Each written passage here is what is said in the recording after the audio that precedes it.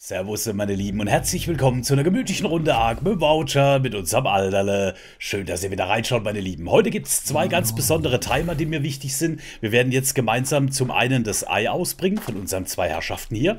Und dann achten wir ganz akribisch drauf, dass wir dabei sind, wenn unser drittes Magmasaurier-Baby schlüpft. Denn das ist das erste, das wir praktisch selber gebrütet haben dann. So, das Ei machen wir hier raus, ohne es zu essen gucken, wie ist der Timer. Ich schreibe mir das jetzt auch auf. Wir haben jetzt Zeit 33 Minuten. 33 Minuten schreibe ich mir jetzt mal hier drauf. Und der zweite Timer ist unten bei den Haifischen. Seid ihr da? Mir ist aufgefallen, wir haben einen ganz besonderen Haifisch. Ich bin ja die ganze Zeit unterwegs, die Armee zu leveln bei der Mission. Ihr erinnert euch, die machen wir heute übrigens noch in der Beta-Version, damit wir mal sehen, was da der Unterschied ist und mal gucken, was wir für Belohnungen kriegen und wie viele Level-Ups. Ganz, ganz wichtig ist aber, ich habe gestern die Tiere gelevelt und da ist mir ein Haifisch aufgefallen, der super zu spielen war. Ich habe erst gar nicht kapiert, wieso das so ist. Ich zeige es euch mal. Ich habe dann die Werte mal gecheckt von denen. Übrigens, die die letzte Haifischgeburt von diesem Pärchen, die ist hier zu sehen. Da haben wir Drillinge gekriegt. Also wir haben jetzt genug Tiere für die Armee auf jeden Fall. Ne? Hier sitzen sie alle drei Level 83. Da ist jetzt der Prägetimer bei 24 Minuten. Fisch haben sie. Und dieser Haifisch hier heißt aktuell Bruno Böse. Ich habe den Bruno Böse genannt, weil der bei den Missionen so abgegangen ist. Aber ist allerdings ein Weibchen. Muss ich mir doch mal was überlegen. Auf jeden Fall passt mal auf, ich zeige es euch mal ganz kurz. Der hat sich super gespielt. Ich wusste gar nicht, was los ist. Und ihr seht auch, der ist schon schwanger. Ich habe den schon mal so weit gemacht, dass wir da Babys kriegen. Vielleicht vererben sich die Werte. Und zwar, da habe ich es mir aufgeschrieben. Da habe ich es mir aufgeschrieben. Jetzt muss ich mal ganz kurz gucken. Wie kann ich denn das jetzt... Conny, das jetzt Mora? Ja, hier steht es ja. Gesundheit 2700 in den Grundwerten. Aber der eigentlich wichtige Faktor ist Bewegungsgeschwindigkeit. Dieses Tier hatte eine Bewegungsgeschwindigkeit Basiswert 120%. Deswegen lief der auch so cremig. Jetzt hoffe ich natürlich, dass sich der Wert hier weiter vererbt. Hatte 380% ähm, Angriffskraft schon als Basiswert, genauso wie dieses Elterntier hier. Ähm, 380% Und die beiden habe ich jetzt auch mal zusammengebracht. Männchen, Weibchen. Und ich bin sehr, sehr, sehr gespannt, was für ein Tier rauskommt. Wenn wir Glück haben, vererbt sich das 120% an äh, Bewegungsgeschwindigkeit. Ist ein Traum, ne? Aktueller Stand der Armee, zwei Haifische sind durch den Levelzyklus durch und vier Mosas. Ne, fünf, Ne, drei. Drei Haifische, Entschuldigung. Den habe ich ja auch schon durchgejagt. Der macht nur eine kleine Pause. Mit dem werden wir aber später auf jeden Fall die Beta machen. Der ist absolut krass. Also drei Haifische sind durch, vier Mosas. Die nächsten drei Haifische stehen hier schon am Start zu mitmachen und zwei Mosas sind noch auf dem Weg. Und diese ganzen Timer müssen wir jetzt abwarten, inklusive des Eye-Timers von Magmasaurier. Und in der Zeit gehen wir das Gewächshausdach mit musikalischer Unterlegung bauen. Das fehlt nämlich noch. Haben wir schon länger auf der Liste, ne? Ich gucke jetzt gerade noch mal kurz hier. Du bist in 22 Minuten soweit, weil die Timer ja während des Speedups jetzt dann gleich laufen, dass ich die nicht verpasse. Du bist bei einer Minute 40, dich machen wir noch gleich. Ja, brauchst dich ja gar nicht hier schlängeln. Brauchst dich ja gar nicht schlängeln. Und du hast noch ein bisschen Zeit, ne, bis wieder soweit ist. Alles klar, also Leute, die zwei Mosas kommen noch dazu. Die zwei Mosas kommen noch dazu. Zu den vier sind sechs, zwei Haifische sind acht, der da unten ist neun. Kann aber sein, dass ich das ähm, Tier, dieser Bruno Böse, dass ich den daheim lasse zur Sicherheit, diese Weible mit super Werten. Und wir nehmen zwei von denen, die nachrutschen. Die level ich dann noch auf mit der Zeit. Ne? Also jetzt machen wir den Prägetimer. Dann gibt es die musikalische Unterlegung von unserem Gewächshausdach. Da erkläre ich aber gleich noch zwei, drei Worte dazu, wie ich es jetzt bauen werde. Und dann sind die Timer soweit. Dann erleben wir heute noch unser Magma-Baby, wenn es schlüpft. Wir erleben den Schlupf dieses Haifischs wir hoffen auf besondere Werte. Und dann gehen wir die Beta-Version machen. Mit Bruno, mit Frau Bruno Böse. Jetzt weiß ich ja, wo das Ding herkommt, Ursula, ne? Ich bin das, der hier die Weiber mit, mit, mit Kerlnamen versieht. 44 Sekunden. Die Zeit nehmen wir uns und werfen nochmal einen Blick hier rein. Ja, übrigens, da ist irgendwie irgendwann mal ein Walfisch dazugekommen. Der hat sich hier verkeilt, dann musste ich ihn rausziehen. Absoluter Brecher. Und geil ist ja, wenn die Vögel hier so durchfliegen, ne? Hat was von einem Kolosseum irgendwie. Sehr, sehr, sehr pompös. Mittlerweile brauche ich tatsächlich Essen und Trinken, wenn ich vom Floß hinten zum Magmasaurier hochlaufe. Das ist so weit. Der Weg ist so weit, Leute. Wahnsinnsgeschichte. Und überall fahren Tierlen hier rum. Ist absolut göttlich. Ey, ich, ich mache mit dem Haifisch die Mission und denke, Alter, der läuft cremig. Das beste Tier bisher. Hat er tatsächlich so einen Boost an Bewegungsgeschwindigkeit. Hat mich tierisch gefreut drüber. Und hoffe jetzt auf eine Vererbung der Werte. 4, 3, 2. Unser 6-6 und kuscheln ist wahr? Oh, Ja, da freue ich mich. Kann sein, dass ich den hier lasse.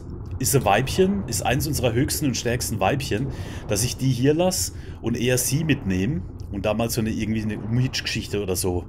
Äh, wir gucken mal, jetzt gehen wir mal ganz kurz zusammen hoch. Hier habe ich einen Futterdruck schon mal aufgebaut. Ich habe ja keine S Plus Futterdrücke momentan. Da ist die Reichweite so gering, dass wirklich alle Tiere Futter haben. Ne? Hier. Und da wir bei den Missionen unendlich viel Fisch bekommen, dürfte hier auch genug drin sein. Habt ihr gesehen? Wir bekommen so viel Fisch bei den Missionen. Übrigens, Hexagon-Punkte sind wir jetzt bei 57.000 gerade, ne? So, meine Lieben, dann geht es für uns kurz nach oben. Dieser Aufbau hier unten wird auch nach oben gespiegelt. Ich habe lange hin und her überlegt, ob ich Gewächshauselemente nehme, aber dann verliert sich der Effekt von diesem mittleren Gebäudeanteil zu stark. Ich verzichte auf den Gewächshausbonus zugunsten des Designs. So, und hier bauen wir dann jetzt dieses Dach drauf, dieses äh, Dreieck, diese Pyramidenform. Und ich will aber noch ein bisschen Luft durchlässig lassen, deswegen werden wir hier Gitter anbringen weiter. Ja, hier baue ich nochmal zwei, vier Mauerstücke auf an jedem Eck, sodass wir praktisch von der Höhe ab dann losziehen. Das ist ja auch geil da hinten. Das ist ja auch irgendwie stark da oben, oder? Genau, also so machen wir das. Und dann kommt die Schräge, wird praktisch ab hier dann dran gebaut. Ne? Die habe ich jetzt noch oben gelassen. Die sind noch nicht ganz durchgelaufen.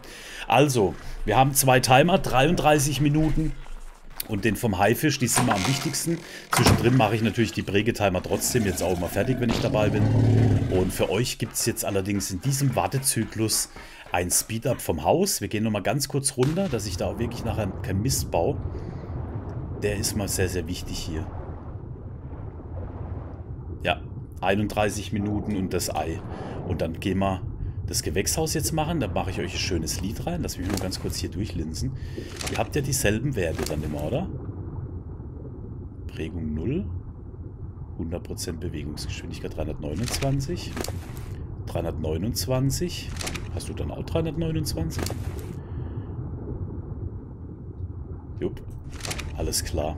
Also, dann sehen wir uns wahrscheinlich gleich zum Schlupf des Magma-Babys.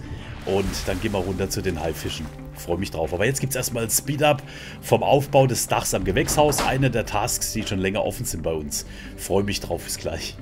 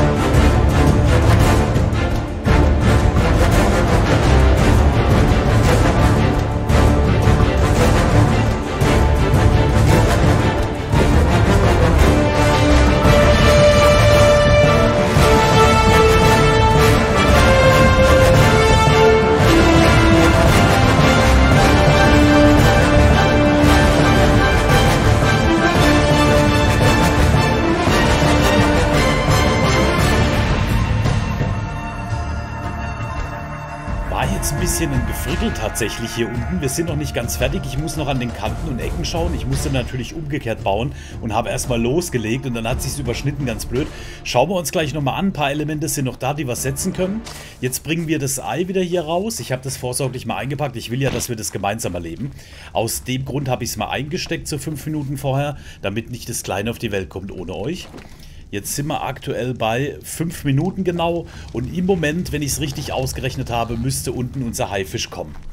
Äh, so, was wartet noch heute auf uns? Wir gehen gleich nochmal rüber und wir werden auf jeden Fall heute nochmal diese Mission im Beta-Status machen. Fahrstuhl ist immer irgendwie nie da, wenn ich ihn brauche. Ich habe den meistens dann irgendwo anders. so, die Haifische sind ein bisschen durcheinander. Die Prägetimer habe ich natürlich wahrgenommen. Und bei der Gelegenheit ist mir aufgefallen, dass ich keine Mutation habe mit den 120% Bewegungsgeschwindigkeit, sondern jedes Prägen bringt dem Haifisch 6,7% Bewegungsbonus. Habe ich gar nicht mitbekommen. Das heißt, wir müssen eigentlich nur die Tiere gut prägen, dann läuft's. So, der hat noch 2 Minuten 23 und dann müssen wir praktisch jetzt dann auch hoch, ne? Dass wir nach unserem Ei gucken. Dann haben wir die beiden Prägetimer. Dann schnappen wir uns gleich Bruno Böse für die Beta-Mission, aber gehen erst nochmal kurz ans Gewächshaus. Hier muss ich auch nochmal gucken, ne, dass da der Timer wieder losgeht. Das reicht nämlich jetzt an Haifischen. Äh, Verhalten, Paarung deaktivieren. Verhalten, Paarung deaktivieren. Und bei dir kann ich es eigentlich auch, aber jetzt warte ich, bis der Kinderland auf der Welt sind. Ne, also wenn wir die Haifische ordentlich prägen, wann ist der nächste Prägungsbonus? In einer halben Stunde. Wenn ich darauf achte, haben wir lauter 120%ler. Das wäre natürlich schon eine Geschichte.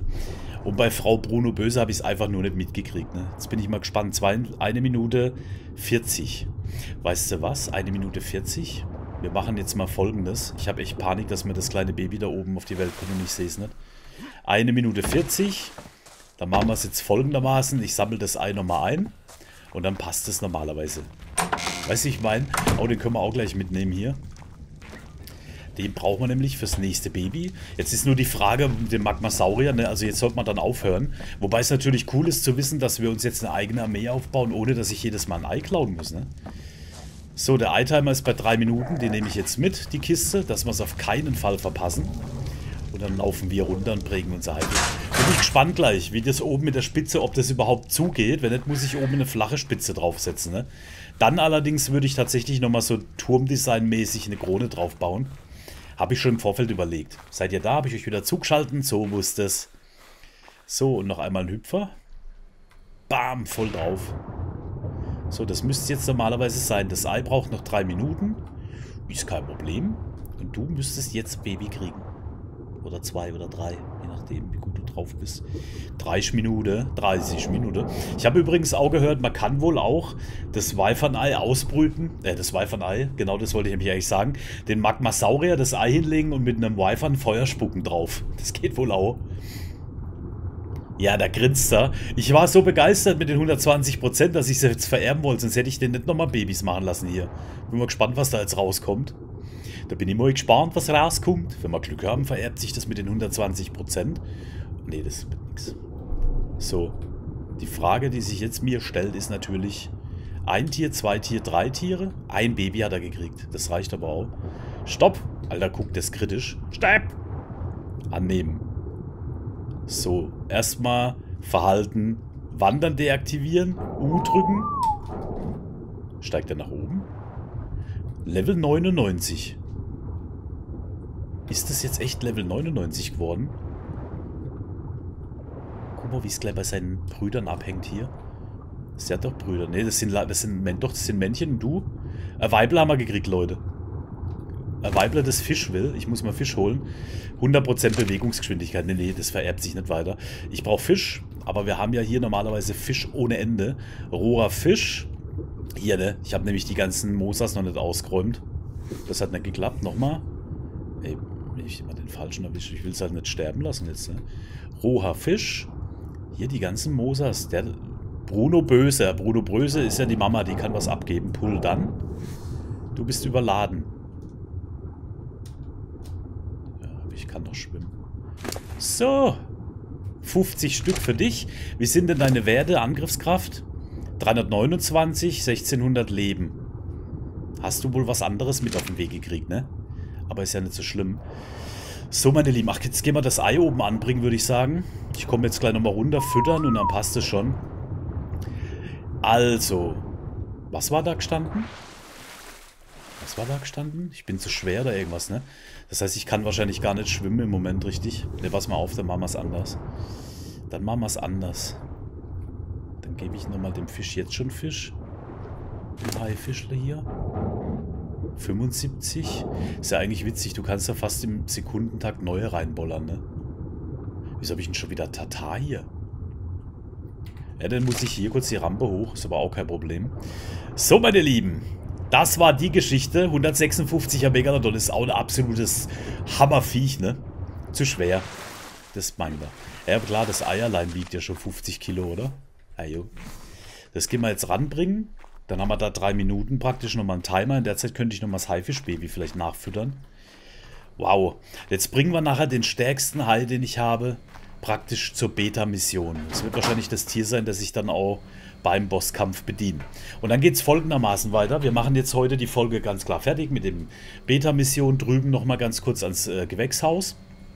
Und ich werde dann die Tiere, die noch fehlen, wenn die Prägetimer rum sind, ich stoppe jetzt so langsam die Paarungen, dann werde ich die Tiere alle einmal durch die Mission jagen, vielleicht manche schwachen zweimal, baue Sättel nach und dann könnten wir theoretisch den Boss machen. Ihr spürt, dass ihr ein Baby kriegt, gell? Mein Problem ist, dass ich gerade nicht sehr schnell sein kann. Bist du vielleicht in der Lage, mich kurz vorzureiten? War mir klar. Jetzt haben wir das. Ah, der könnte. Der könnte hier, der Kollege. Ja, wenn das Ei raus ist, kann ich wieder laufen. Herrliche Geschichte. Jetzt müssen wir mal drüben gucken. Ich habe seitlich noch Lücken am Gewächshaus. Das liegt aber an dieser Bauweise. Da gibt es da gibt's ja keine Elemente, die ich da reinpressen kann, was aber auch nicht schlimm ist. Viel schlimmer ist nur, dass ich... Ähm, eigentlich ist gar nichts schlimm. Ich weiß gerade nicht, was ich sagen wollte. Also O ist das schön. 3 Minuten 10. 3 Minuten 10. Passen wir auf, das wäre dann praktisch, wir müssen 10 hoch. Dann gehe ich nochmal runter, das Haifischbaby füttern, laufe die Timer nochmal ab, dann weiß ich da auch Bescheid, wenn es weitergeht. Und dann passt es. So. Hier bin ich schon nie lang gelaufen.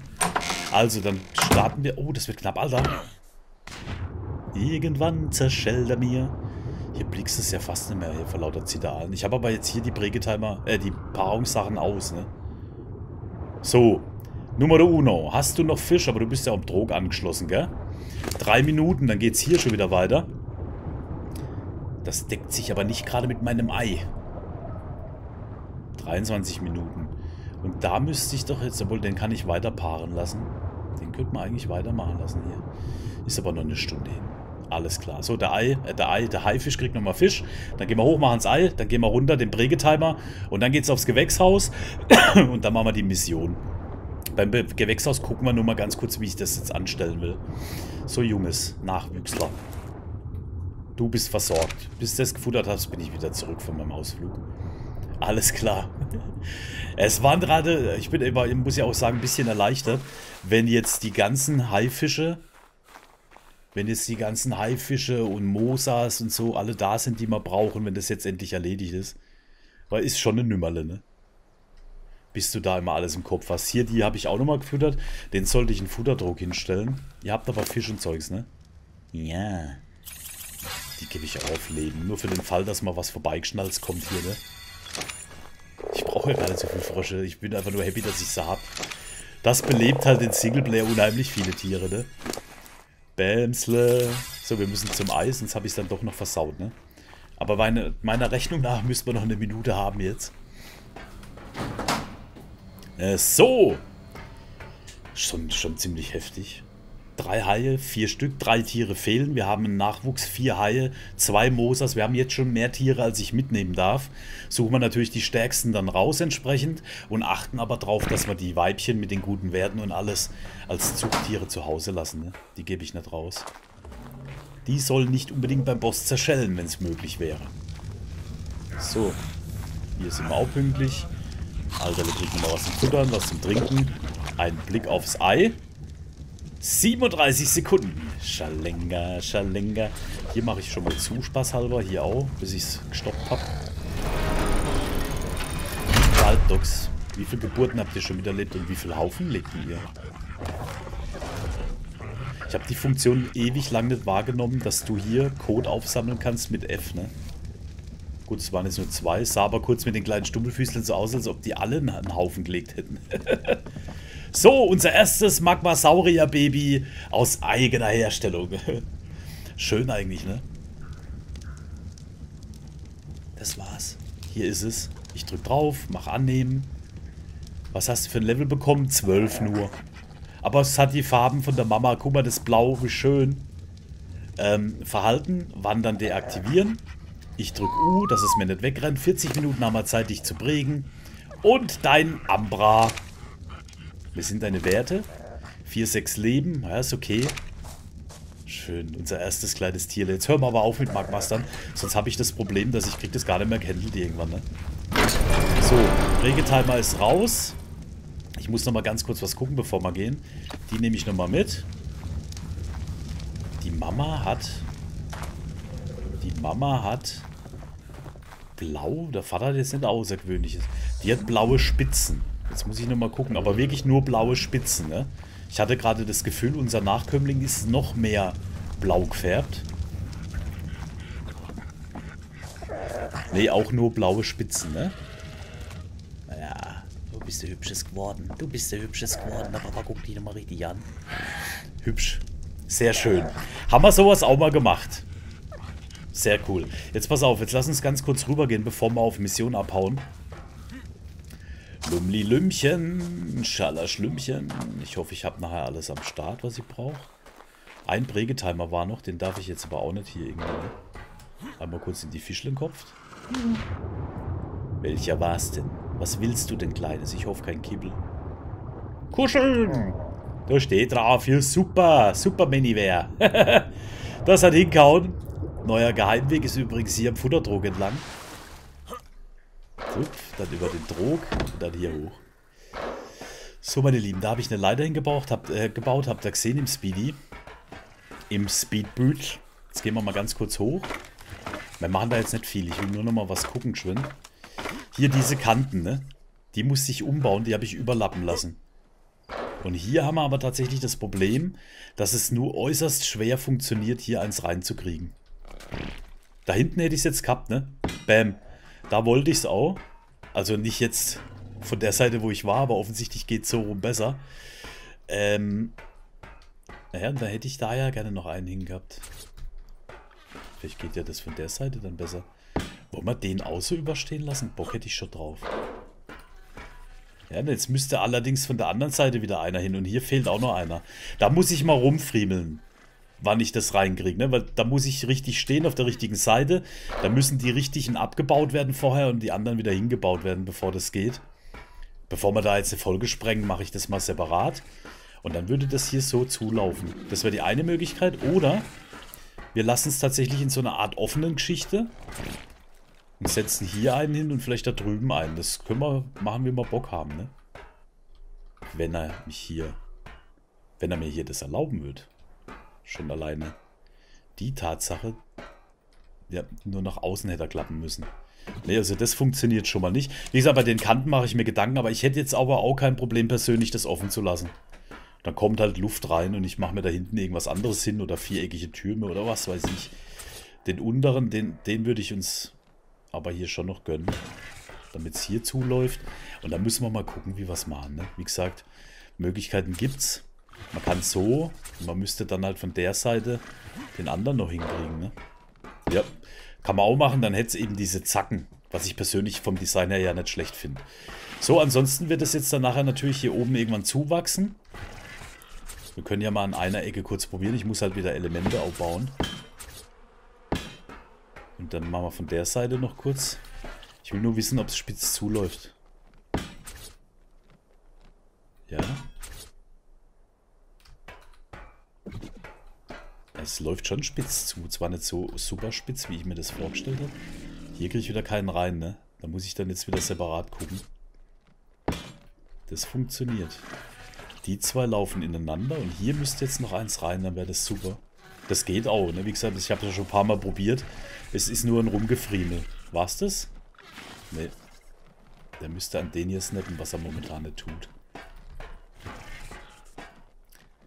Weil das wäre schon geil. Aber das sehen wir ja dann mit der Zeit. Jetzt machen wir mal hier noch einen drauf.